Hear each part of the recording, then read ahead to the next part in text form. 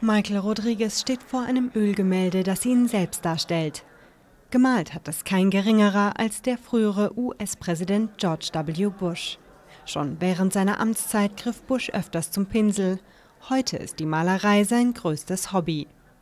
Rodriguez ist einer von mehr als 50.000 US-Soldaten, die verwundet aus den Kriegseinsätzen im Irak und Afghanistan zurückkehrten. Kriegseinsätze, die George W. Bush beschlossen hatte.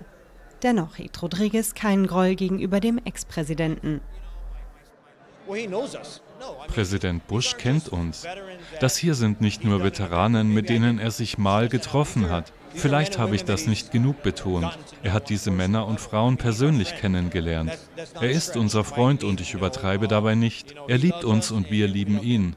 Er kennt mich und er kennt meine Familie. Er kennt unsere Geschichten, nicht weil er von ihnen gelesen hat, sondern weil er sich Zeit genommen hat, uns kennenzulernen. Das ist eine große Ehre für mich. Von einem US-Präsidenten gemalt zu werden, ist einfach eine besondere Ehre. Für Bush scheint die Malerei auch eine Art Aufarbeitung der eigenen Vergangenheit zu sein.